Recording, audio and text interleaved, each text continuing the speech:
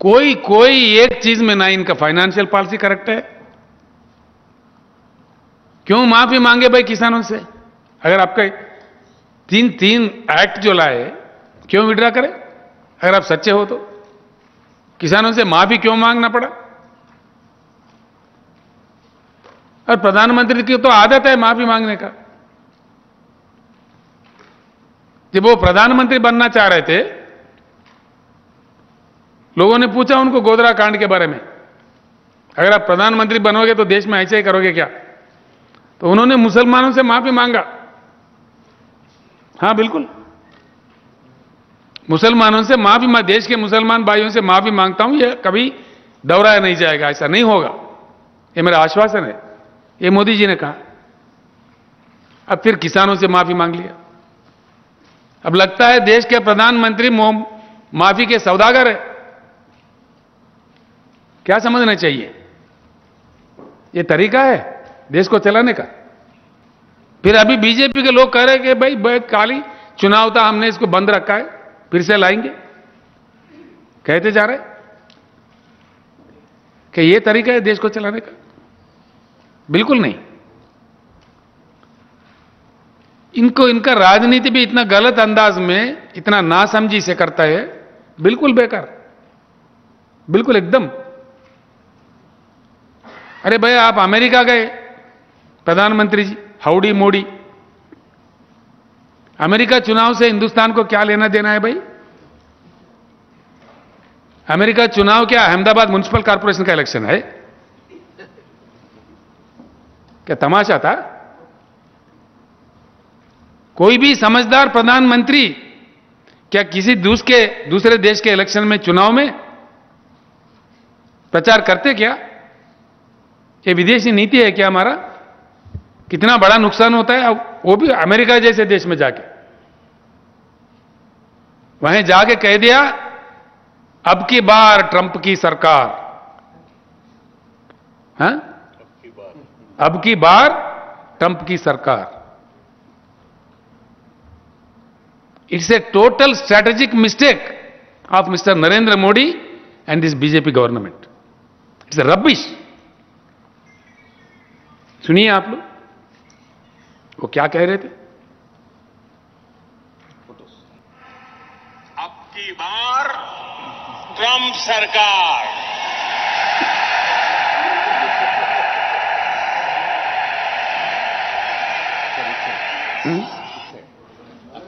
मतलब मतलब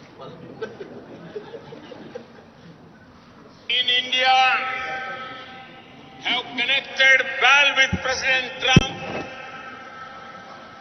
The words, the words of candidate Trump, अब की बार ट्रंप सरकार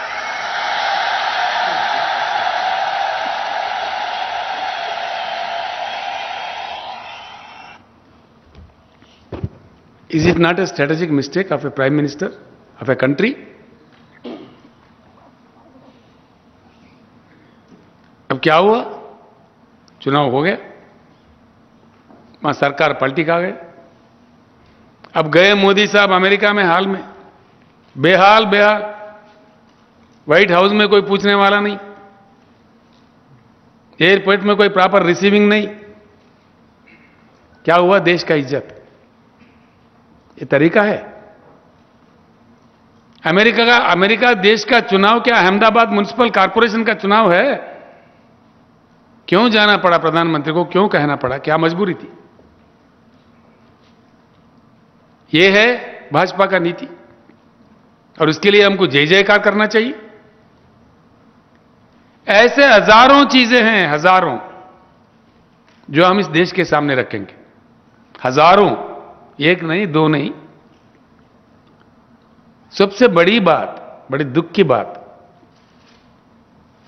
बहुत दुख की बात जिस प्रकार का लैंग्वेज ये लोग इस्तेमाल करते।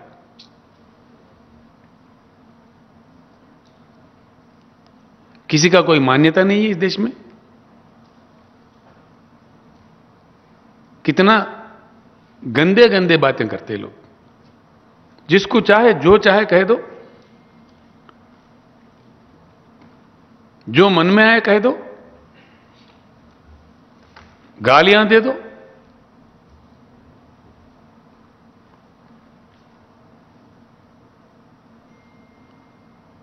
मैं कल कह रहा था, आज भी कह रहा हूँ, इस देश के युवा से खास तौर पर, ये कल का इंडिया आपका इंडिया है। मेरे युवा मित्रों, मेरे भाइयों, मेरे बुद्धिजीवियों,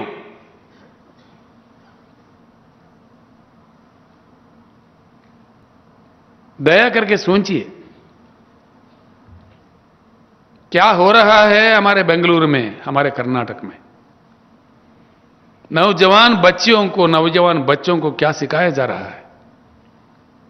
इतना बड़ा हेट्रेड ये कहाँ जाएगा हिंदुस्तान? तेलंगाना सात साल पहले, जहाँ किसानों का आत्महत्या होता था माइग्रेशन होता था, पीने को पानी नहीं मिलता था बिजली नहीं आती थी, सिंचाई के लिए पानी नहीं थी, बहुत बेहाल थी। सात साल के कड़ी मेहनत के बाद एक अच्छा संस्कार पूर्वक गंगा जमुना तहजीब को अमलावरी करने के बाद क्या देखने को मिल रहा है तेलंगाना में? हमारा पर कैपिटा इनकम बढ़ गया।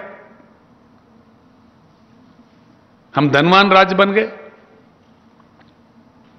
हमारे पास ज़ीरो के नीचे है अनएम्प्लॉयमेंट एम्प्लॉयमेंट अपॉर्चुनिटी मिल रहा है। इन्वेस्टमेंट्स आ रहे हैं। इंडस्ट्री की बढ़ोतरी हो रही है। आईटी की बढ़ोतरी हो रही है। रियल एस्टेट बढ़ रही है। मौके मिल रहे हैं बच्चों को। ये क्यों मिल रहे हैं? हमारे मंत्रिमंडल, हमारे एमएलए हमारे एमपी हमारे अफसर, सब मिलकर एक अच्छा खासा माहौल यहाँ पे बनाए। A proper echo has been built in the state of Telangana once this echo is ruined with a bloody unwanted religious silly fight if you lose the echo echo of Hyderabad if you are going to lose the echo of Telangana कौन आएगा यहाँ निवेश करने के लिए who will invest who will come please think it is time for the youth to think इस देश के युवा का यह फ़र्ज़ है, ये भविष्य आपका है, देश आपका है। हमारे, आज अफ़गानिस्तान में जाके किसी को कहो इंडस्ट्री लगाओ, कोई लगाएगा? कौन जाएगा अफ़गानिस्तान? उल्टा पैसा दो, तभी नहीं जाएगा। क्यों? जहाँ शांति रहता है, जहाँ अच्छा माहौल रहता है, जहाँ एक दूसरे को प्यार करते हैं, जहाँ प्यार मोहब्बत वाला एक वातावरण बना रहता है, वहाँ जाता है। आप हर जगह मज़हब के नाम, धर्म के नाम अंगार लगा दे रहे। ये क्या तरीका है? कौन नहीं मानता भाई भगवान को इस देश में? कितने लाखों मंदिर है? गाँव गाँव में? लाखों मंदिर है हमारे पास। हर हर दिन मंदिर बनते रहता। कौन पूजा नहीं करता भगवान का? हर कोई करता। लेकिन भगवान के नाम पे, धर्म के नाम पे हिंसा, ये हेट्रेड क्या करना है आप? इस देश को किधर ले जाना चाह रहे हैं? आकर ये प्रवृत्ति यहाँ तक जा रहा है।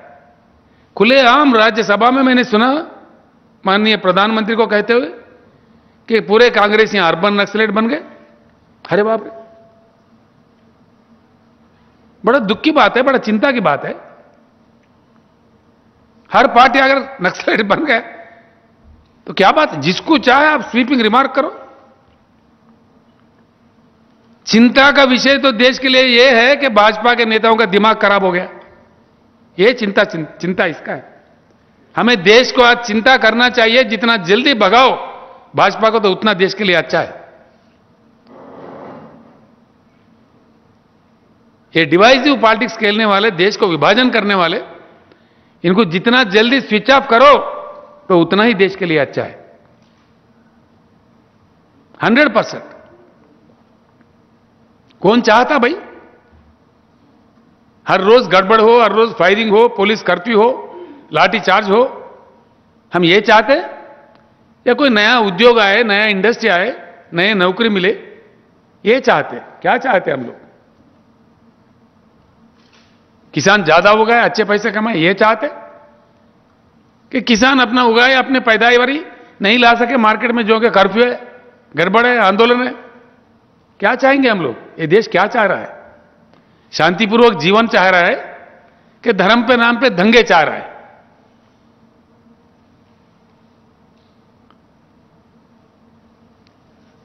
आखिर यहाँ तक यहाँ तक यह बात मुझे दुख से कहना पड़ रहा है। कल भी मैंने कहा है, कोई जिम्मेदार भाजपा नेता का कोई जवाब ही नहीं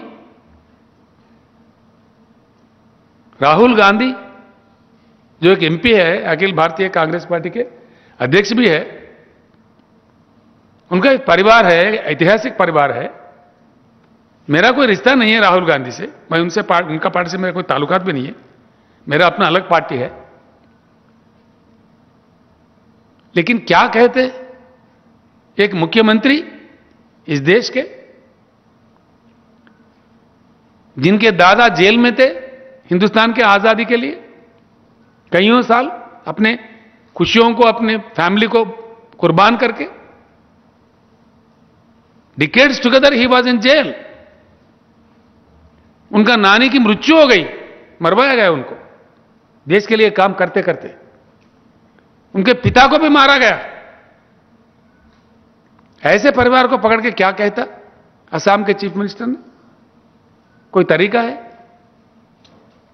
क्या उसको प्रधानमंत्री शबाशी दे रहे।